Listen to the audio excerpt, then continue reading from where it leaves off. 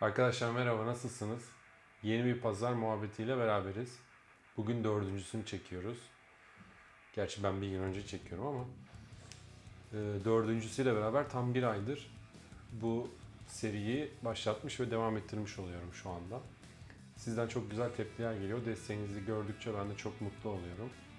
Bu haftaki muhabbetimize gitarlarımdan bir tanesinden ufak tefek bahsederek başlamak istiyorum. Biliyorsunuz herkes Metallica'yı çok seviyor. Ben de çok seviyorum. Türkiye'deki yeni gitara başlayan herkes yani çoğu insan da Metallica'yı çok seviyor. Ve Metallica'ya özenerek gitara başlıyor. Ben de çok Metallica çalmak istediğim için başlamıştım. Gitarlarımdan bir tanesini size göstermek istiyorum. Yani benim için çok önemi olan bir gitardı.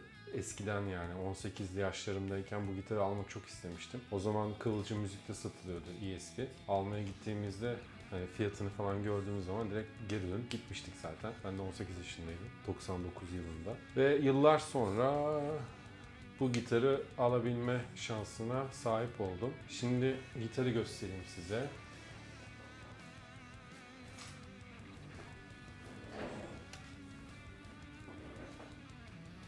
Gitarımız bu arkadaşlar. ESP Explorer. Benimki Bolton modeli. Normalde James'in kullandığı set neck yani o burada Bolton değil normal e, vidalar olmadan direkt devam ediyor ama kimin umurunda. Bu gitarı nasıl buldum? Önce bu gitarla yani şu model gitarla James'in çaldığı birkaç fotoğrafı sizinle paylaşayım. Bana bu gitarı, yani ben bu gitara baktığım zaman hem aklıma Metallica'nın Black Album zamanı geliyor. Tam o Black Album ve belki bir tık öncesi zamanı geliyor. Ve hani o albümleri de çok sevdiğim için bu gitardan mutlaka almak istedim kendime. Ama hani birkaç sene önceye kadarmış kısmet o zaman aldım. Nasıl aldım arkadaşlar? Sahibinden de bir böyle işte haftalık gösterdiğim gibi size ilanları tararken bir gün bir baktım ki bu gitarı gördüm. Fiyatı da o zaman benim alabileceğim gibiydi. 2-3 sene önceydi. Ve hani hiç şeyine bakmadan durumuymuş, oymuş, buymuş. Gittim gitarın fotoğraflarını aldım. ESP'nin kendi forumuna gittim. Orada işte sahtesi gerçeğiyle ilgili yorum yapan insanlar var. Ben de onlara sordum bu gitar sizce sahte mi gerçek mi diye. Onlar da gitarın düzgün olduğunu, hani bir problem olmadığını söylediler. 90'ların sonunda yapılmış bir gitar olduğunu söylediler bunun. Şu şekilde.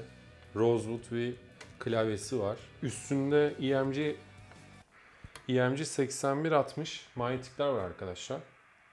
81 orijinal gitarın üstündeki orijinal manyetiği. Yani ben aldığımda üstünde orijinal 81 vardı ama ee, 60'ı ben sonradan aldım EMC 60'ı. Çünkü üstünde farklı bir manyetik vardı. Ne vardı hatırlamıyorum ama farklı bir manyetik vardı. EMC 81-60'a çevirdim. Yani Metallica şeyine, e, Metallica'nın meşhur setup'ına çevirdim. Sonradan Hetfield kendi signature'ını falan çıkarttı. Ama bu gitar hep olsun istedim ve durdu. Yani hiç çalsam da çalmasam da bu benim ömrümün sonuna kadar kalacak bir gitar. Hani geçen hafta size göstermiştim beyaz gitarını James'in işte ortasında el hareketi yapanı. O gitarlar çok pahalı gitarlar. Alınması çok zor ama bu gitar Gibson Explorer'a çok benziyor arkadaşlar. Şimdi ben ekrana da bir Gibson Explorer koyayım. İkisinin farkını anlayın. Bu gitarın Gibson Explorer'dan esas farkı bu kısmı.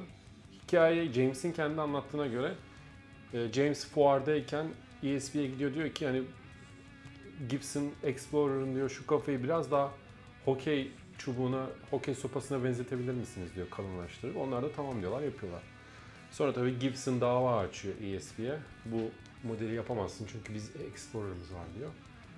Ve şeklini biraz değiştirerek sonraki şu andaki Snakebite'a kadar Hetfield'ın evriliyor. Ama bu gitar ikonik bir gitardır. Bu şekil, bu marka. Hetfield'la özdeşleşmiştir. O yüzden ben de bu gitarı sahip olmak istedim. Yeni pazar muhabbetinde şöyle bir şey yapmak istiyorum. Eğer telife takılmazsa her hafta hoşuma giden, çalmaktan hoşlandığım bir Metallica riffini size çalacağım.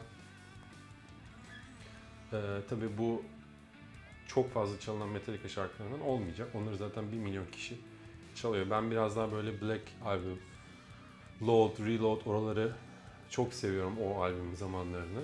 Hani böyle heavy metal, rock yaptıkları zamanları. Oralardan da riffler çalmak istiyorum size çok kısa. Şimdi bu hafta e, ilk açılış için Black albümünden bir riff çalacağım size. Bu gitar için. E, bu gitarı direkt ses kartına giriyorum. Ses kartından da Fortin Nameless plugin'i açıyorum. Plugin'le kaydediyorum. Hem şu yaka mikrofondan alınan sese bakacağım hem de bu kayıtta Logic'e kaydediyorum. Hiçbir efekt olmadan hangisi güzelse onu size duyuracağım. Hani odada nasıl duyuluyorsa o şekilde duyurmaya çalışacağım. Bakalım ne olacak.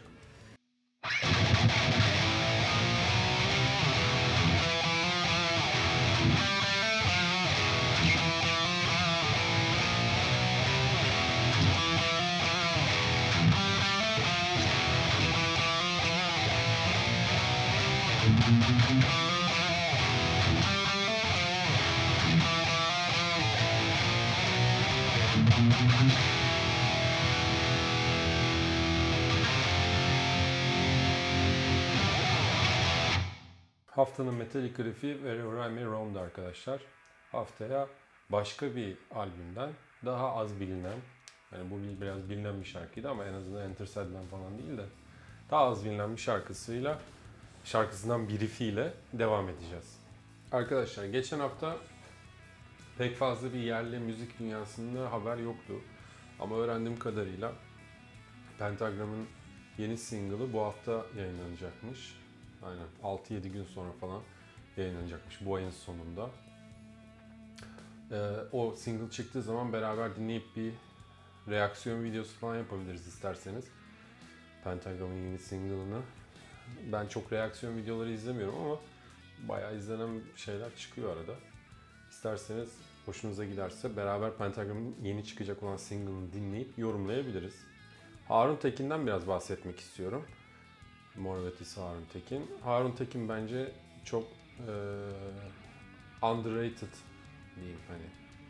Biraz daha kapalı kutu kalmış gitar çalımıyla bir arka Biraz da Harun Tekin'den bahsedelim. Çok fazla Kerem'den bahsediyoruz, Kerem Özyeğen'den. Harun Tekin'den bahsedelim Mor Ötesi'nden. Harun kendi kişiliği itibariyle hani çok fazla ak- aktivist mi desem hani çok fazla konuşmayı, siyasi mevzularda, politik, dünya mevzularında konuşmayı çok seviyor ama gitar çalımıyla gene geri geri planda yani çok fazla gitar çalımı ile ilgili konuşulmadı bu zamana kadar. Ama bence Harun Tekin aşırı değişik şekilde gitar çalıyor. Akorları basış şekli, basma yerleri çok değişik. Çıkartması çok zor. Fakat onun çaldığı gibi orijinal çıkarttığınız zaman inanılmaz zevkli bir çalımı var. Hatta hatırlıyorum bir tane videoda YouTube'da Can Şengün mü? Harun'un gitar çalışını izlemiş şey demiş hani oha demiş yani sen çok büyük saygımı kazandın şu anda falan. Ee, bence Harun Tekin'in eğer seviyorsanız Mor Ötesi bir dahaki konserinde veya bir videosunda Harun Tekin'i takip etmeye çalışın.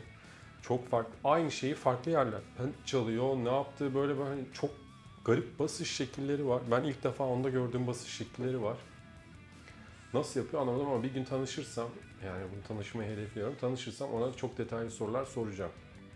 Eğer bir gün kanalımız yeteri kadar büyür de kalabalıklaşırsak belki Harun Tekin'le bir gitar muhabbeti, amfi muhabbeti yaparız. Neden olmasın? Arkadaşlar bu hafta tünele gittim. Ee, kendime bir şey aldım. E, o aldığım şeyin ne olduğu ile ilgili ve ufak tünel maceramla ilgili size kısa bir vlog denemem oldu. Onu sizinle paylaşmak istiyorum. Hadi şimdi beraber izleyelim. Gitar çalarken kullanmak için bir tabır almak istedim kendime. Normalde tabırı alınmak için hani mobilyacıya giderler. Ama ben tünele geldim. Tünelde bir müzik mağazasından kendime bir tabır alacağım. Bakalım nasıl bir tabırıymış.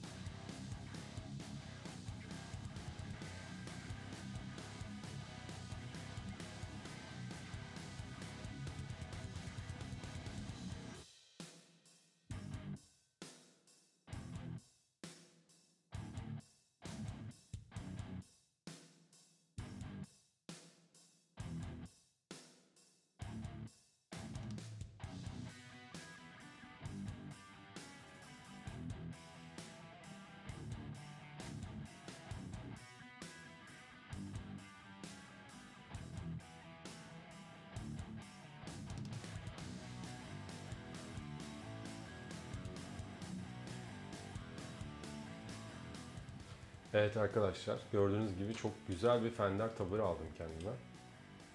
Gitar çalarken kullanmak için bence koltuklardan yani şu an benim kullandığım koltuklara göre gitar çalmak için daha rahat. Tabii ki tünele gittiğimde aklıma siz geldiniz. Dedim ki elim boş dönmeyeyim. Ve size tünelden gittiğim sırada böyle bir hediye aldım arkadaşlar. Bu hediye ne derseniz bu bir lunchbox. Böyle kutu. Tutup böyle bir şeyler yapabiliyorsunuz. Böyle açılıyor. İçi açılıyor tabii ki. İçinde bir gitar polişi var. Fender'in.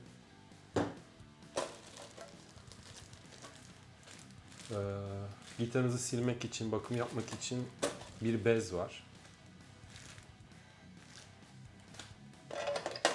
Akort yapmak için, akordunuz, akort burgularını çevirmek için e, Fender marka bir burgu çevirici var. Bir de Fender penalar var. Medium penalarmış. 12 tane pena var arkadaşlar. Ve böyle güzel bir kutusu var. Hani buna başka alet edevat elinizde ne varsa koyabilirsiniz. Fender'in kendi ürettiği orijinal bir şey. Hani görünce siz aklıma geldiniz. Bunu bir kişiye kanalda hediye edeceğim. Ama şu an nasıl hediye edeceğimi bilmiyorum. Neye göre hediye edeceğimi bilmiyorum. Bunu tahminim yarın videoyu yüklediğim zaman aklıma gelecektir. Ufak bir çekiliş yapmak istiyordum zaten. Bunu da size kazanan kişiye göndereceğim. Geçen haftalarda Ferman'ın signature gitarı var gibi ben söylemiştim ama yorumlarda bazı arkadaşlar beni düzelttiler. Chord Turkish Edition Ferman'ın kullandığı. Chord'un Turkish Edition diye bir gitarı varmış. Şimdi hatırladım. Yani sanırım sadece signature gitar olarak e, Schecter'in Demir Demirkan'a yaptığı signature ve e, ESP'nin Metin Türkçen'e yaptığı signature Türkiye'de gözüküyor. Benim hatırladığım. Varsa başka signature olan siz de söylersiniz ne olduğunu. Ben şu an ne yapıyorum diye soracak olursanız parti, Mor ve Ötesi partiyi hazırlamaya çalışıyorum ama tahmin ettiğimden daha uzun zaman alıyor.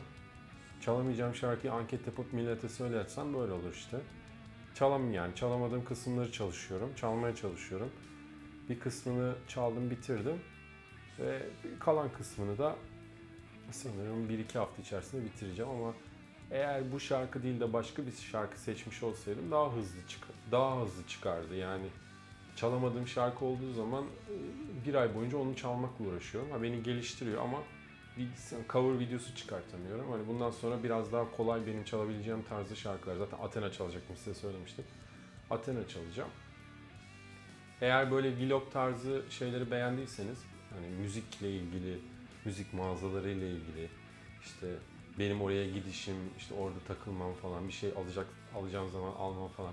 Bu tip şeyleri izlemeyi sevdiyseniz eğer devamını ileride de çekebilirim. Yani yaklaşık her hafta zaten müzik mağazalarına uğruyorum. Hem muhabbet ediyorum. Hani neler var, neler gelmiş, neler yok. Bunlara bakıyorum.